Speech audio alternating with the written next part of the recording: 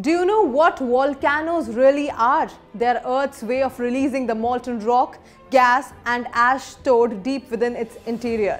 So welcome to GeoConcepts in a minute. Let's understand this process today. This powerful process called volcanisms usually occurs along tectonic plate boundaries and hotspots where intense heat melts part of the mantle and pushes magma upward.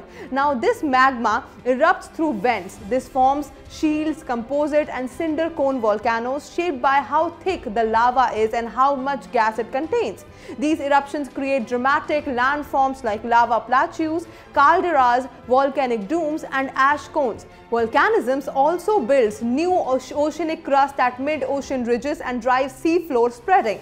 Although eruptions can be dangerous bringing lava flows, ash clouds, pyroclastic surges and earthquakes. They also enrich soils and create fertile regions. In India, active volcanisms occur near the Andaman Nicobar Islands, while the Himalayas show mostly extinct feature. Understanding volcanisms is crucial for physical geography, disaster management and grasping tectonic processes in GS1 and GS3.